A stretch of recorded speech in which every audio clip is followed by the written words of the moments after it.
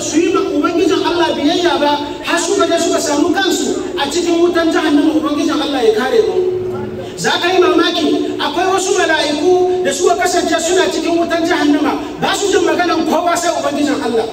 Da zarar ubangijin Allah ya ce wa wa'annan mala'iku khuzuhu fagulluhu summa al-jahim salluhu. Ya ce wanda bawa ku kama shi ku daddaure shi ku jefa shi kasa kasa kasa kasa cikin wutan jahannama. Maka azaba kenan sun kama wadda ringa maka azaba kenan sai mu tambayi kanmu bayan Allah wanda ya zamana sun swabi Allah suka nemi tuba ya ubangijin Allah zai da su sai ubangijin Allah ya ce da zarin kayi laifi haka nemi tuba wurin zuwa ga ubangijin Allah ubangijin Allah ya ce zai gafarta maka ubangijin Allah ya muna gafara baki daya aqulu qawli hadha wa astaghfirullah li wa lakum wa lisa'il muslimin min kulli dhanbin fastaghfiruhu innahu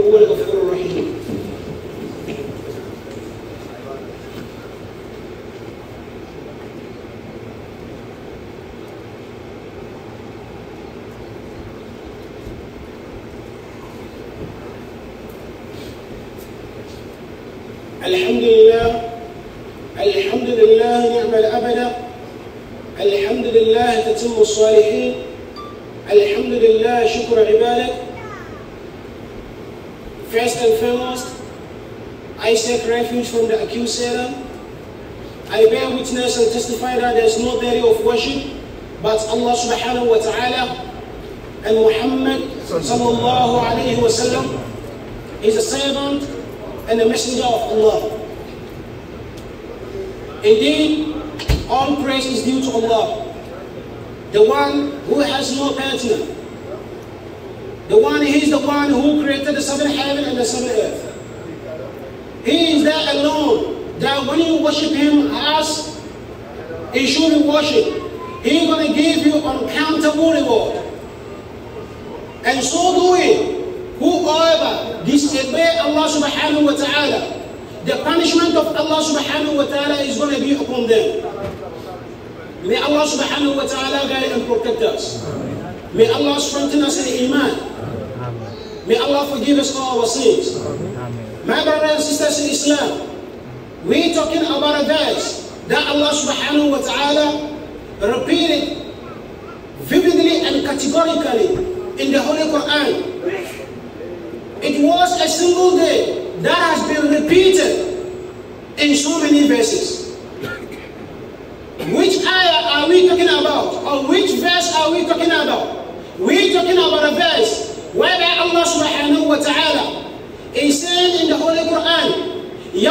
يسمعون الصيحة بالحق ذلك يوم العروج That will be the day that Allah subhanahu wa ta'ala, you and I, we're going to listen to what? A voice of what? Al-Israfil, the angel Gabriel. We're going to listen to his voice with the command of Allah subhanahu wa ta'ala. Allah subhanahu wa ta'ala, he's going to what? Command him for him to blow all the horns. When he blow out the horns, what's going to happen? Everybody, each and every one of us, we're going to come out from our graves. We're going to come out from our graves. What sort of preparation have we prepared for that day? Yes, of course, none of us sitting over here has been prepared for that day. If really we did prepare for that day, let Allah subhanahu wa ta'ala command the angel to come right away in this masjid to take the soul of all of us. You think you're going to go to Jannah? La wallah, you're not going to go to Jannah.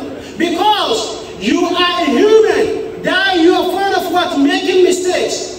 How many times you wake up in the morning, you say, Alhamdulillah, all praise is due to Allah subhanahu wa ta'ala.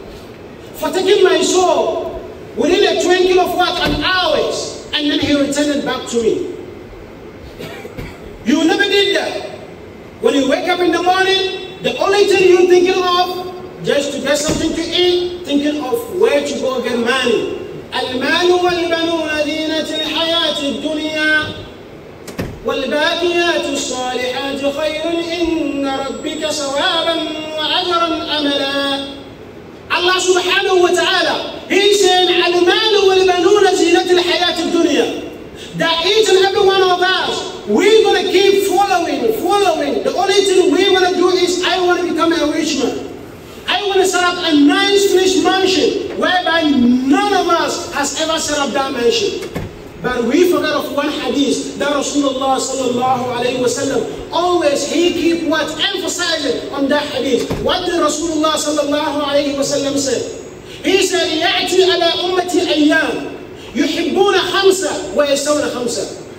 The time will come for my ummah, for my people, for my followers. Who are the followers of Allah subhanahu wa ta'ala? We are the ummah of Rasulullah sallallahu alayhi wa sallam. We are the followers of what? Rasulullah sallallahu alayhi wa sallam. Because it's atiu Allah wa atiu Rasul. Wa ulil amr minkum. You can say you believe in Allah but you don't believe in Rasulullah. If you do that, some ulama they said you are and you are not a believer.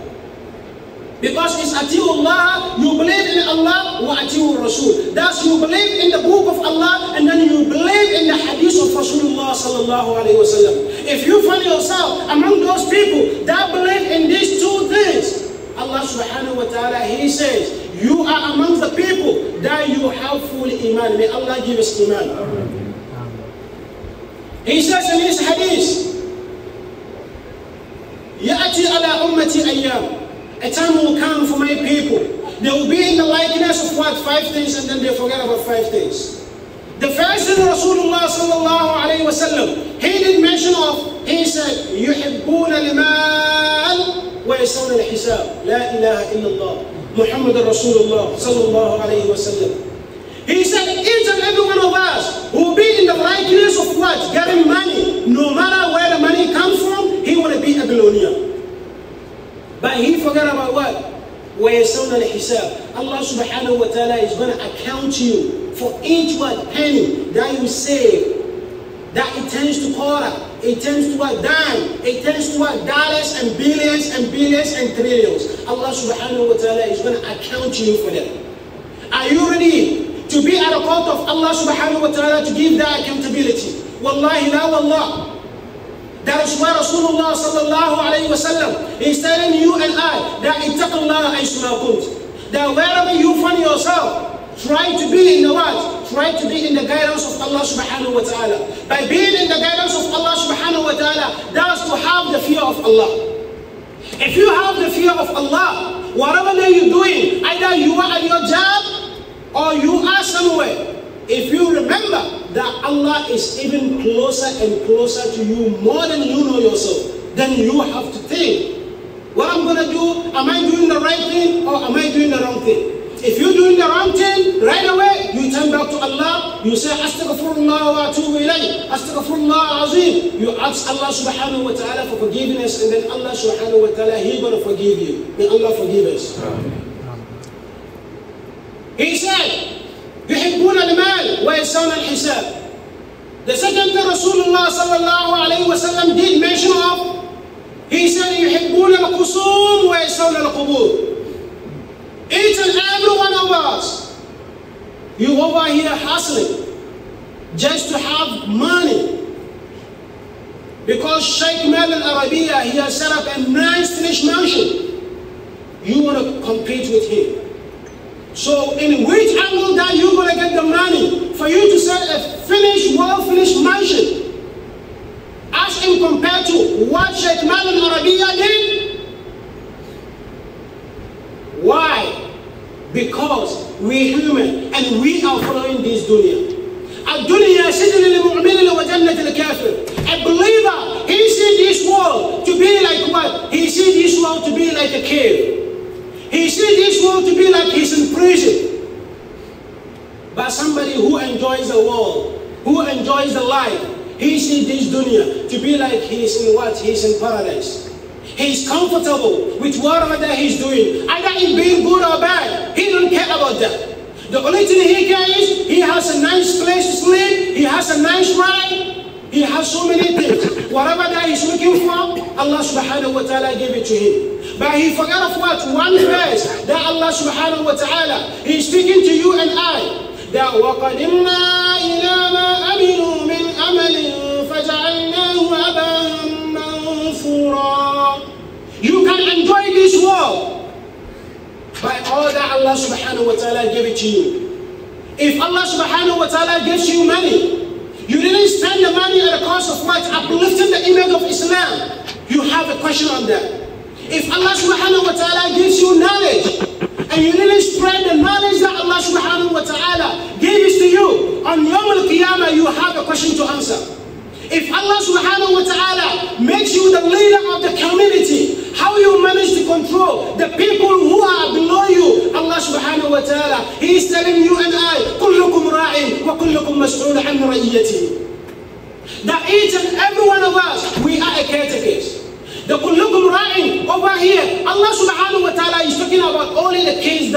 subhanahu wa ta'ala gave it to you.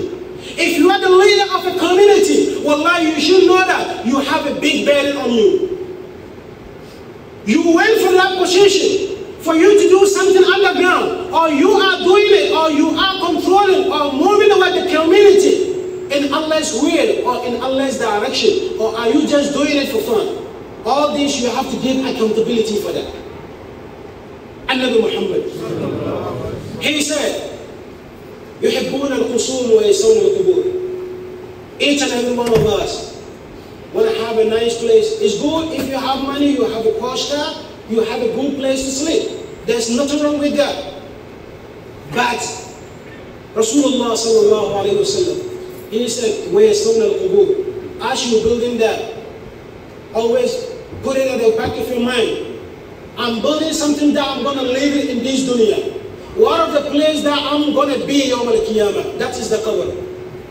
That each and every one of us, we want to have a nice place to sleep. But we're son al kubur and then we forget about the cover. We forget about the cover. Rasulullah sallallahu alayhi wa sallam, he continued by saying, no matter what it is, if there is a new lens that comes out, there is a new clothes that comes out. You want to be the first person to go grab that. But you forget about the last clothes that they're going to put on you, which is only the wrapper. You have no underpants. You have nothing. The only thing is what is three pieces of clothes that you did forget of them. What are you thinking? What are you thinking, my brothers and sisters in Islam? What are you looking for in this dunya? Wallahi, you should be amongst the people that always carries what? The taqwa Allah. If you have the fear of Allah, Allah subhanahu wa ta'ala always will be in the guidance of you. But if you don't have the fear of Allah, whatever that you're doing, wallahi, you may be doing something wrong and you think you are in the right path. Before you realize, وَالْقَبْرُ صُدُّوكُ الْأَمَلِ You find yourself in the grave and it's too late. May Allah guide and protect us. May Allah make us amongst those people that He believe and trust in them. Back to our topic. When we said Allah subhanahu wa ta'ala said in the Holy Quran, يوم يسمعون الصيحة بالحق ذلك يوم الحروج That will be the day that I said Allah subhanahu wa ta'ala is telling you and I that He's going to command Israfil for him to blow out the horn. And each and every one of us, we're going to come out from our graves. Let's cast our mind back to Africa. You can see one grave how many people have been piled? The one under will be speaking to one on top. Get up for me also to get up. Because of what? Because of what? The heatness and the what? The distractions of that day. Because of what? Because of the bomb that Allah subhanahu wa ta'ala commanded Israel to blow up. What sort of preparation have you prepared for that? My brothers and sisters in Islam, it's never too late for you to turn back to Allah subhanahu wa ta'ala. You know what you're doing, that is wrong. I know what I'm doing, that is wrong. You know something that you're going to do, Allah subhanahu wa ta'ala is going to bless you. And then at the same time, you know what if you do the hunger, Allah subhanahu wa ta'ala is going to be upon you. If you know this, why can't you try your possible best to stay away from that and then try. Always keep praying to Allah subhanahu wa ta'ala to guide you to the right path. And some of us, you can't believe it. Sometimes we know what we're doing is wrong, but yet still we're going to do it. Are you playing with Allah subhanahu wa ta'ala? Or you playing with yourself? Let's even put it back into our daily activities. If you are a yellow cab driver, you are a gypsy driver, no matter what it is, if they said don't cross this traffic light, if you cross this traffic light, the police is standing at a corner. He's going to pull you up and give you a ticket. When you're driving, You pay much attention to that. You don't want to cross what the red light because you've been get scared of what the police going to get you ticket and then they're going to take points out of your what out of your license. You obey that. One of the one who created the officer, the police officer? What of the one who created you? What of the one who gave you what? The knowledge for you to drive? What of the one who gave you the health? What of the one who gave you the money? You're not thinking about him. The only thing you think of, you get scared of what? A human being like you. But you're not getting scared of Allah subhanahu wa ta'ala. Allah is telling you and I that we should get ready and get prepared for one day that each and every one of us, we're going to come together. When we come together, what Allah subhanahu wa ta'ala is going to tell you and I, that's what we are discussing today on our topic, which is يوم يسمعون الصيحة بالحق ذلك يوم الخروج. Allah subhanahu wa ta'ala, in another verse, He says, يوم نقول لجهنم هل امتلأت وتقول هل من مزيد that will be the day Allah subhanahu wa ta'ala is speaking to the what? He's speaking to the hellfire. يوم نقول لجهنم هل امتلأت تقول لجهنم هل امتلأت وتقول هل من مزيد He's speaking to what? The hellfire. Asking the hellfire. Are you full of those people who disobey Allah subhanahu wa ta'ala? Are you full of those people whom I gave them what? Wealth when they are in this dunya, but they use that wealth to disobey me, Allah subhanahu wa ta'ala. Are you among the people that I gave you knowledge, but you never use your knowledge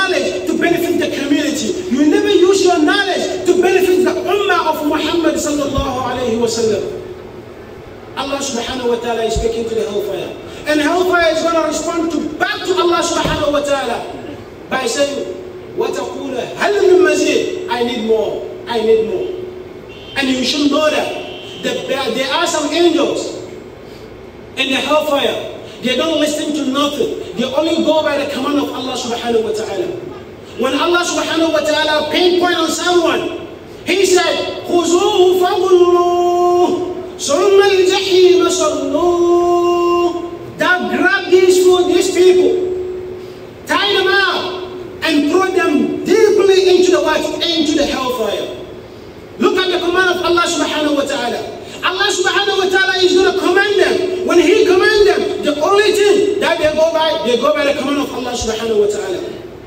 The punishment continues. The punishment never will, it never stop. They're going to keep what? Receiving the punishment of Allah subhanahu wa ta'ala as we, the people, that we worship Allah as He should be worshipped in this dunya, you will be in paradise. You are enjoying over there, whilst they are in the what? In the hellfire, receiving what? The punishment of Allah subhanahu wa ta'ala. May Allah subhanahu wa ta'ala guide and protect us. May Allah subhanahu wa ta'ala forgive us our sins. May Allah subhanahu wa ta'ala guide us to right path. We pray to Allah subhanahu wa ta'ala to give us a good death. We pray to Allah subhanahu wa ta'ala to bless every single one of us with any form of goodness. My brothers and sisters in Islam, let's fear Allah as it should be feared. He is the one. If you don't want to fear Allah subhanahu wa ta'ala, just go home. Have a look at yourself in the mirror. Try to ask yourself, what mechanisms that Allah subhanahu wa ta'ala used to even create only your teeth? Just ask yourself that question. It's going to take you billions and trillions of years. You will never get the answer. For you to have the answer, that's if you have what? Taqwa Allah wa taqwa al If you have the fear of Allah, you know He is the one who created you. You know He is the one, whatever that you have in this dunya, He is the one who gave it to you. If you are in good health, He is the one who gave you the health. If you are rich, He is the one who gives you the money. Whatever that you're looking for in this dunya, if Allah subhanahu wa ta'ala did not give it to you, wallahi never lose hope, my brothers and sisters in Islam. Somebody has been in this country for so many years. He has been chasing, chasing that he need a green card. Allah subhanahu wa ta'ala, He knows the reason why He's making a delay on your green card not to be with you. You will never know until when you find yourself in the cover. Because Allah subhanahu wa ta'ala, He knows you more than you know yourself. And He knows what is in your heart. The green card at this time, you might turn out to be the number one kuffar in this dunya. So Allah subhanahu wa ta'ala says, this is not the right time for me to give it to you. You incur some debt. You've been praying, praying, praying Allah subhanahu wa ta'ala to bless you with money. Always you keep praying. Allahumma rizqan wasiha, halalan tayyiba. Allah subhanahu wa ta'ala will speak back to you. La rizqa wa la tayyiba. I'm not going to give you the money. I'm not going to bless you. Because of what? Because you disobeying Allah subhanahu wa ta'ala. There is a minor, minor, but we have the major sins and then we have the minor sins. It might happen you did something, just a little bit, that is blocking what? That is the shade between you and Allah subhanahu wa ta'ala. Whenever you pray, because of the sin that you did, the dua bounce back to you. But if you think of Allah subhanahu wa ta'ala and think of what? And think of the bad things that you did, you look at what? What Allah subhanahu wa ta'ala tells you in the Holy Quran, and then you turn back to Allah. May Allah subhanahu wa ta'ala make us always be among the people that we turn back to Him. We pray to Allah subhanahu wa ta'ala to forgive us our sins. Those of our ummah that has passed away since the creation of Adam up to this time, may Allah subhanahu wa ta'ala bless them with Jannat al-Firdaus. We pray to Allah subhanahu wa ta'ala to bless every single one of us. The any job that we are doing in this dunya, we ask Allah subhanahu wa ta'ala to put His mercy and rahmah on that. Amen. We pray to Allah subhanahu wa ta'ala to bless every single one of us with any form of goodness. We pray to Allah subhanahu wa ta'ala whenever our time comes for us to leave this world, may our last word be La ilaha illallah Muhammad Rasulullah sallallahu alayhi wa sallam. اللهم اعز الاسلام والمسلمين واذل الشرك والمشركين ودمر اعداءك اعداء الدين وانصر عبادك المجاهدين في كل مكان اللهم حرنا الحق وارزقنا اتباعه. وحرنا الباطل باطلا وارزقنا اجتنابه. اللهم حرنا الحق حقا وارزقنا اتباعه. وحرنا الباطل باطلا وارزقنا اجتنابه. اللهم فرج هم المهمومين ونفس كرب المكروبين وكل الدين عن المدينين واشف مرضانا ومرضى المسلمين وارحم موتانا ومرضى المسلمين يا أرحم الراحمين يا رب العالمين ربنا ظلمنا أنفسنا وإن لم تغفر لنا وترحمنا لنكونن من الخاسرين اللهم رزقا واسعا حلالا طيبا حلالا طيبا ونحن المستور ولا يستر المستور إلا الستار فاسترنا يا ستار. اللهم أنت الغفار. ونحن المغفور ولا يغفر المغفور إلا الغفار. فاغفرنا يا غفار. اللهم أنت الرحمن ونحن المرحوم ولا يرحم المرحوم الرحمن فارحمنا يا رحمن فارحمنا يا رحمن. ربنا آتنا في الدنيا حسنة وفي الآخرة حسنة وقنا عذاب النار. اللهم قنا عذاب الدنيا اللهم قنا عذاب القبر اللهم قنا عذاب القبر. ربنا آتنا في الدنيا حسنة وفي الآخرة حسنة وقنا عذاب النار. اللهم صل على محمد وعلى آل محمد كما صليت على إبراهيم وعلى آل إبراهيم وبارك على محمد وعلى آل محمد في العالمين إنك حميد مجيد. اقوموا إلى صلاتكم.